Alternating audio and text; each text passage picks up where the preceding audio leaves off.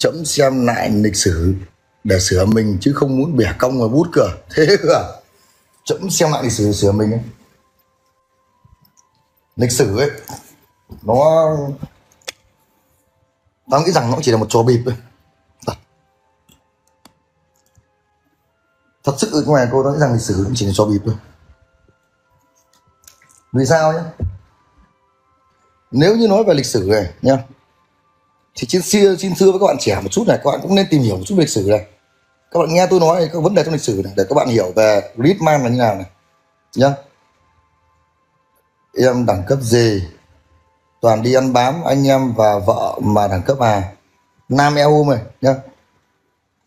Nếu như mà ta thực sự được ăn bám vợ, thì ta cũng phải là thằng rất đẳng cấp khi chọn được người vợ để mà mình có thể ăn bám. Nhá. Hoặc là tao cũng phải là người rất đẳng cấp khi mà chọn được người anh em để mà mình có thể là ăn xin được chưa? Đấy. Nay thuê được antifan ok đấy cả huy ơi, thôi đừng bình luận nữa em. Huy này cứ chút này ông ngồi ông, ông kiểu mình sai ông nhiều chứ quay ra ông, ông làm em cũng không không chửi mới được được mình chứ. Quay ra ông dùng mấy nick ảo vào ông chửi nhắc nghe nhỉ? Nhưng mà nổi tiếng đem lại cho anh cái gì và mất cái gì hả anh? Anh chưa bao giờ anh định vị mình là người nổi tiếng. Em ạ nó đem lại cho anh cái gì ấy, thì nó đem lại cho anh là cái học thuyết của anh cái quan điểm sống của anh cái cái cái cái cái, cái cách sống của anh ấy, nó được phổ biến đến cho nhiều người. Và người ta có có cái sự chiêm nghiệm để mà người ta kết bạn giao lưu được chưa? Thế nhưng mà giao lưu kết bạn với những cái thành phần như thế bây giờ anh nghĩ lại cũng chả lên em đâu người có mấy thằng nghiện với nhau nhá anh cũng giãn dần rồi đấy. Chiêm nghiệm là về lịch sử nhá. Nếu như mà cái vai trò của những nhân vật trong cái vòng quay lịch sử thì tôi hỏi quý vị các bạn một câu này. Lý công uẩn, chiếu rời đô liệu có đúng là gì là một người giúp dân cứu nước không? Nên ông đĩnh 13 người con, bị cướp ngôi lý công uẩn, rời đô về thăng long hay là một cuộc chạy trốn? Hoặc đơn giản như này này. Chúng ta thường nhắc đến cái thời kỳ lịch sử, cái vị vua cuối cùng đi, cái triều đại cuối cùng là triều đại nhà nguyễn đi, nguyễn ánh đi, đúng không nguyễn ánh thì chúng ta có một cái là gì là một kẻ tội đồ khi mà cõng rắn cắn gà nhà nuôi quân xiêm sang gọi là đòi lại cái uh, quyền lực của nhà Tây Sơn đúng không? Khi mà có cái trận gọi xoài, rạch dầm, rạch cầm, xoài, xoài mút đúng không? Thế tôi hỏi các ông một câu này nhé. Tôi hỏi các ông một câu này.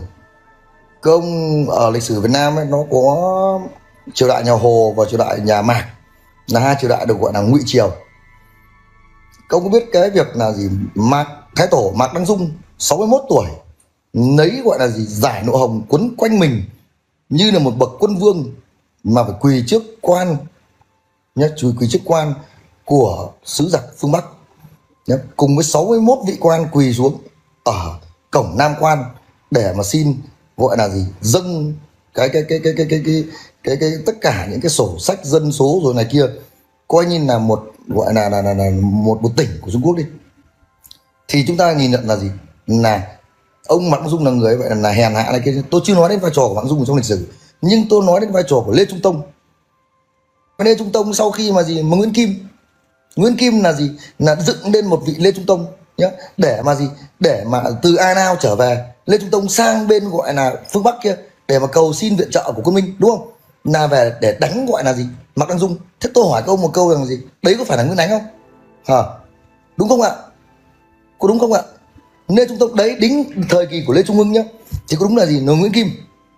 Nhá. Là dựng lên Lê Trung Tông à, dựng lên đấy, nhà Lê đấy. Chính nhà Lê Trung Hưng nhá. Là gì? Chuẩn thôi văn bảo ớ mày cũng bắt sớm thôi. Này tao không nói tao bắt không nghe chúng mày này. Chúng mày phải có cái nhìn nhận nó đúng đắn về lịch sử. Nhà Lê Trung Hưng nhà Lê nhá cũng là người sang bên phương Bắc, kéo giặc về. Để mà gì? Để mà đánh nhà mạc kia. Thế sao chúng mày không gọi là đấy là vai trò của của của nhà mạc? À vai trò của nhà lê là gì? Lại là lại là ngụy triều. Có chắc tin chuẩn không đấy là lịch sử mà. Nhờ, mà lịch sử ấy, có thể ngày ta không nhớ ngày hôm qua con nào, hoặc ngày hôm qua là ta đã dùng, gọi là, bôi giết man này để làm gì? Nhưng tao nhớ chắc chắn về lịch sử. Những năm thời điểm những cái mấu chốt nó là như thế nào? Tao không nhớ là ngày hôm qua tao tiêu hết bao tiền đâu nhưng tao nhớ là gì? Là tao đã đọc hết bao tờ sử tao thật sự mà câu vậy. Nếu mà để nói đã là lịch sử thì ai mà chuẩn được không? Nếu mà để mà nói câu này. Lịch sử nhá lịch sử là là do đâu? Là do nhà lịch sử ấy, nhớ thời kỳ đấy lịch sử của nhà mạc ấy, là thời kỳ đấy là do uh, do nhà nhà nhà nhà lê viết do nhà lê và do trịnh kiểm nhé, do quan của nhà đời nhà trịnh kiểm viết lại nhé. nhưng mà còn phải ca tụng khi mà nhà mạc giúp dân dân dân chúng như thế nào để có một cuộc sống như nào đúng không ạ? Mày biết tại sao nhà lý chuyển ngôi sang nhà trần không? Nhà lý chuyển ngôi sang nhà trần thì anh lại nói với chú một tí này nhá. Nhà lý được chưa? Hình thành và suy thoái như thế nào gì nhà lý hình thành anh không nói nhá. nhưng từ thời lý công uẩn rời đô, đến lúc gọi là lý chiêu hoàng, là trải qua 12 đời vua. Đời vua thứ 13 là lý chiêu hoàng, nhá. Thì người vợ chuyển ngôi cho nhà chồng, cho người chồng, tức là gì? Là trần trần nào đây ạ, là trần cảnh được chưa? Cháu của trần thủ độ. Trần thủ độ là gì? Là sau này là lấy lại bà trần thị dung. Bà trần thị dung là gì? Là vợ của vị vua cuối cùng của triều đại nhà lý nhé cô cháu lấy nhau loạn luân được chưa? Mạng Dung được bao nhiêu năm anh? Nhà Mạc thì thành lập từ năm 1527 Thái tổ Mạng Dung được chưa?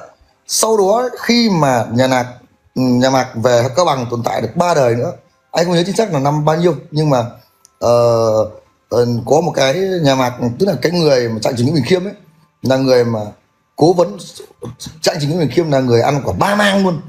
Thấy chưa? Ba tập đoàn chính trị quân sự ở thời điểm đấy đều gọi là gì? Một mình Nguyễn Bình Khiêm khiển ba người. Nguyễn Bình Khiêm này ngày đấy là đúng ra là bố của Nguyễn Bình Khiêm là ông uh, Nguyễn Tiến Đạt mà mà giao hợp ấy, gọi là nhà mẹ của ông Nguyễn Bình Khiêm này. Mà đúng là chỉ chờ một tí nữa thôi tức là cái trăng ấy nó lên đến ngọn tre thôi. Thì ông Nguyễn Bình Khiêm này sẽ được gọi là gì? Là vua. Nhưng mà ông ông ông bố của Bình Khiêm này chắc cũng gọi là là là, là gì quá nhá đấy anh em mua Zitman đấy nhá Zitman nhá là khử khuẩn P, HP nhá và gọi là x đuôi thời gian nẹn nhá. Thì nẹn bà bà bà là bà Nhữ Thị Nhữ Thị Lan là cái gì? Nhữ bà là người họ Nhữ.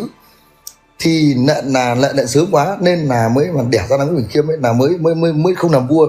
Nhưng mà đấy là người khiển ba tập đoàn ba tập đoàn chiến chiến chiến tranh ở thời đấy nhá. Ví dụ này ví dụ như là trịnh trịnh trịnh, nhà trịnh nhé.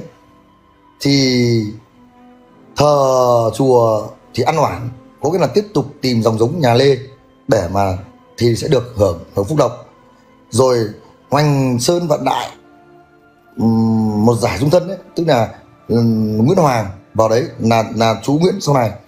Và tồn vong ba đời, tồn tồn tồn tồn cô, tồn vong đấy, là, tao không nhớ câu đấy, nhưng mà đấy là gì dành cho nhà mạc, là về gọi là khu vực cao bằng nhá. Anh học bầu quên vãi nhà họ mạc được bao nhiêu năm anh? Nhớ làm gì mà nhà nào được bao năm? Cái quan trọng nhất là anh nhớ được nghe này này. Là cái sự cách sống của nhà nào? Nhà cái cái bài học lịch sử ấy nó là gì? Nó về cái cách sống của con người ta. Giờ làm sao để mà không bị những cái um, ngu những sai lầm như là trong lịch sử thôi? Anh nói ví dụ như này.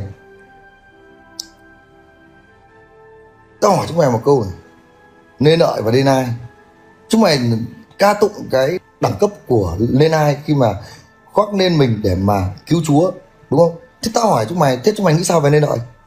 Khi mà người anh người em của mình đây mà lại để người anh của em người em mình à, giả dạng mình để mà gì? Để mà hy sinh để mà mình được hưởng bổng bổng bổng độc.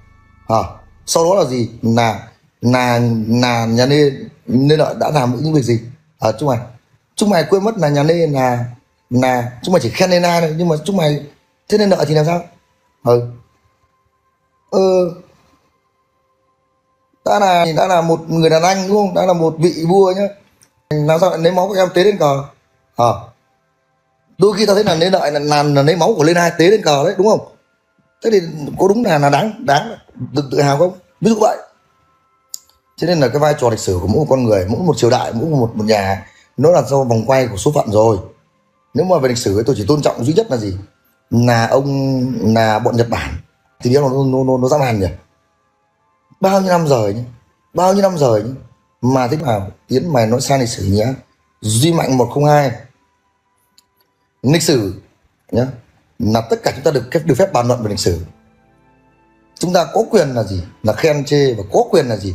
Là là là là là là, là, là, là, là mỗi một con người đều có cái vai trò lịch sử đấy. Mà bây giờ tao nói xấu những cái người trong lịch sử ấy thì thì, thì, thì tao hỏi chúng mày câu này thế thì người ta có kiện tao đâu? Ừ.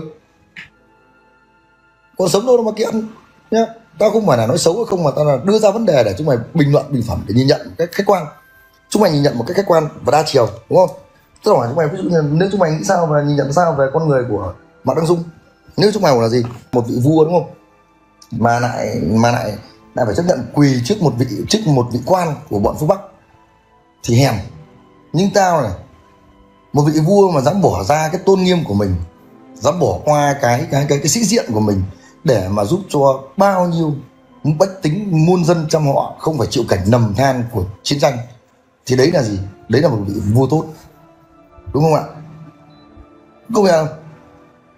Ờ, độc lập vẫn là độc lập vẫn là người vẫn là chúng ta đang trị chúng ta đúng không? Ờ, chứ còn là nhà hồ đấy. Nhà mình đánh kia có tốt thật không? Bây giờ 60 61 tuổi rồi còn sống bao lâu đâu con cháu nó làm vua chúa đây thì mình cứ chịu nhục mình quỳ xuống một tí để cho dân đen bách tính này để được ai kia nhá.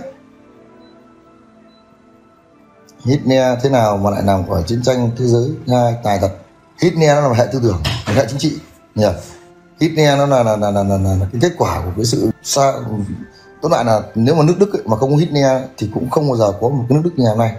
Nó thật sự cầu ấy. Hitler nó là bậc thiên tài luôn thay đổi được cả tư duy của con người. Nếu mà để mà đẳng cấp nếu thời đại bây giờ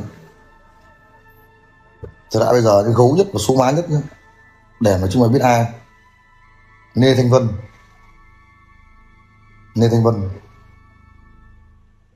Chúng mày biết Lê Thanh Vân chưa? Biết Lê Thanh Vân không? Lê Thanh Vân nhá. Nói chung là đấy là một đẳng cấp. Bởi vì nói về Hitler ta lại nhớ đến cái cái, cái, cái quân đội uh, và quân y quân tức là quân đội. Thực ra thì nó cũng cũng kiểu như là cái người ấy mà cứu cả thế giới này bị chết đói ấy nó là cái người mà tạo ra cái phản ứng của hydro với với với hơi nước và oxy ấy. Bởi vì là cái nitơ đấy à của ni tức là nitơ với không khí này bởi vì cái nitơ đấy nhá nó là giúp cho phân bón. Và nếu như mà đất cứ trồng mãi mà không có nitơ ấy thì nó vẫn đi thôi. Nhỉ? Là đất nó sẽ bạc thôi. Nhưng mà về sau là người ta tạo ra được nitơ ấy, thì người đấy cũng lại chính là người tạo ra cái cái cái cái cái cái, cái, cái gọi là vũ khí hóa học của ấy, của đức ấy nhưng mà để nó Lê thanh vân đẳng cấp. Chúng tôi giữ giỏ hàng nhé không nhá. Anh em nào mua nhá, thì anh em vào tên telegram ấy nhá. Lê Tùng Vân thì sao anh? Lê Tùng Vân nữa mình quá phụ đen, Lê Thanh Vân. Anh vào với cô Hằng thì đi á. Cô Hằng này nói chung là biết đâu được cô ấy mà lại không đi thì có khi là toàn bộ cái cái cái cái cái, cái, cái bất động sản với kim cương ở thị trường miền Nam ấy là cô ấy cầm tất ấy. Đại Nam thì cũng sắp gọi là, là toan đến nơi rồi nhưng mà cô ấy làm cái, cái truyền thông để mà cho đại đại nam nó phát triển lại. Chứ cô ấy không có mục đích gì nhá. Hoặc là cô ấy không có động cơ gì xin thưa chúng mày làm sao mà bài bản như vậy chuyên nghiệp như vậy được nhá.